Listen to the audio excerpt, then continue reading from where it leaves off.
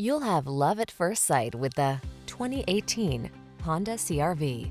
With less than 60,000 miles on the odometer, this vehicle stands out from the rest.